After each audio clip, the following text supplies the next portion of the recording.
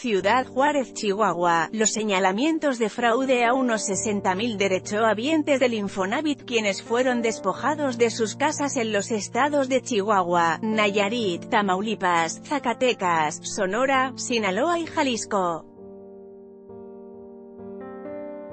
El cual fue denunciado en el estado de Nayarit por el fiscal general Petronilo Díaz Ponce, y habían sido denunciados en el 2017 por la Fiscalía Ciudadana Anticorrupción de Juárez.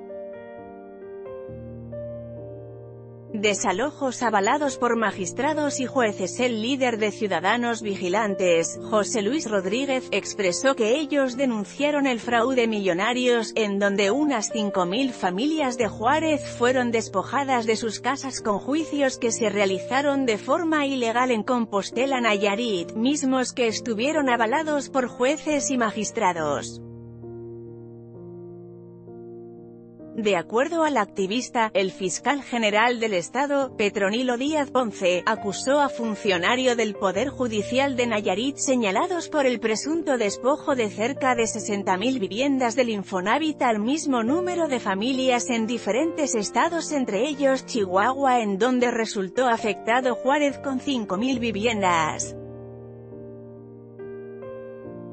Juicios falsos con complicidad de magistrados. José Luis dijo que en la denuncia del fiscal salió a la luz que en la investigación, que entre 2013 y 2018 se llevaron a cabo juicios falsos con la complicidad de magistrados encabezados por el entonces magistrado presidente y jueces de Salisco, Compostela y Bahía de Banderas, así como de un notario y un despacho de abogados, para la irregular ejecución hipotecaria de cerca de 60.000 casas propiedad de derechohabientes del Infonavit en los estados de Chihuahua, Nayarit, Tamaulipas, Zacatecas, Sonora, Sinaloa y Jalisco. En una primera etapa los fraudes se realizaron en los años 2013, 2014 y 2015 en los juzgados de Salisco y Compostela. Se conoce que oficialmente en los juzgados se tenían procedimientos con uno o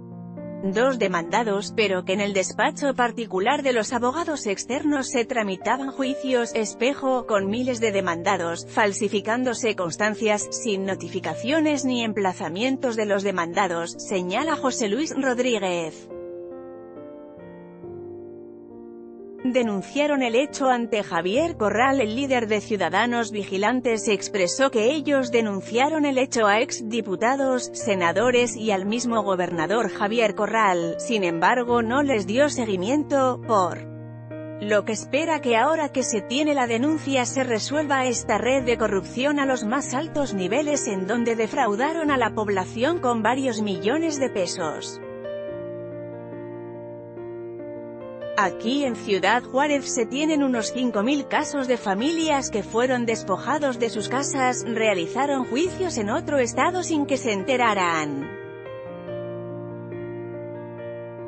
Las casas que despojó el Infonavit en complicidad con los jueces y notarias se les vendían a precios de remate a constructoras, las casas las remataban hasta en 40 mil pesos, acusó, van por desafuero de magistrados y jueces. Ante estos señalamientos la Fiscalía de Nayarit solicitó la declaratoria de procedencia en contra de los servidores públicos con fuero, siendo estos cuatro jueces y dos magistrados en funciones para que previo al proceso correspondiente, se les retire dicha protección especial, y en su momento se pueda ejercer acción penal en su contra.